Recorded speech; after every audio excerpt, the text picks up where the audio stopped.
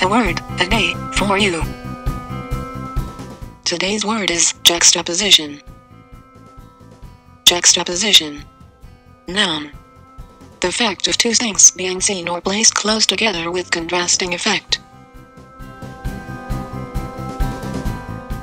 The juxtaposition of the two images in the art exhibit were supposed to be ultra dramatic. Can you use today's word in a sentence? Leave us a comment below. It may be featured in a future video. Connect with us. Join us on Facebook. Tweet with us. Check out our blog. And thanks for watching.